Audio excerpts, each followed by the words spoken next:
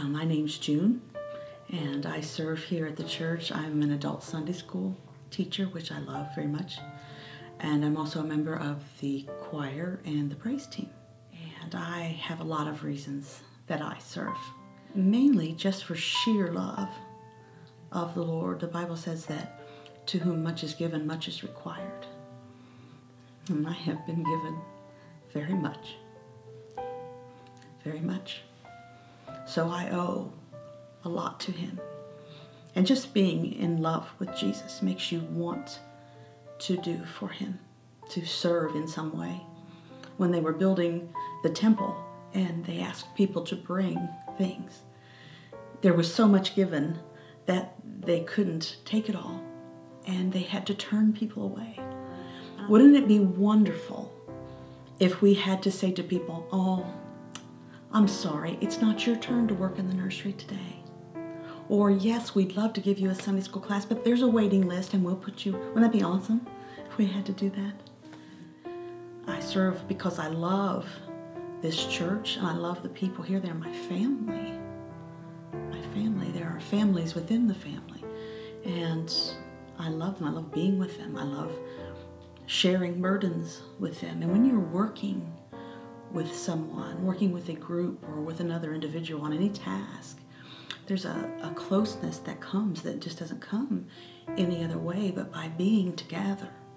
Families take care of one another, and this church is the place that my family has chosen to to attend and to serve God in. So so we serve this family because that's what families do, right? Uh, the Bible also says, you know, whatever your hands find to do, do it with your might.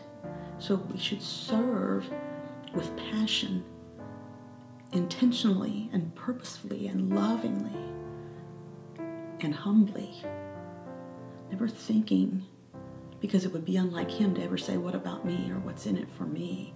We serve because the heart of Jesus serves. He is our example of serving and giving and working and doing, and there is great joy in that. There's no better feeling in the world than knowing because I took care of your baby, you got to pray through at the altar. what a feeling. We're doing that unto the Lord.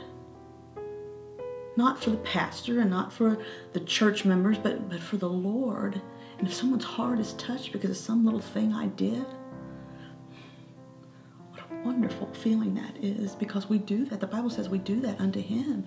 We give a cup of cold water, it's to give it to Jesus Himself.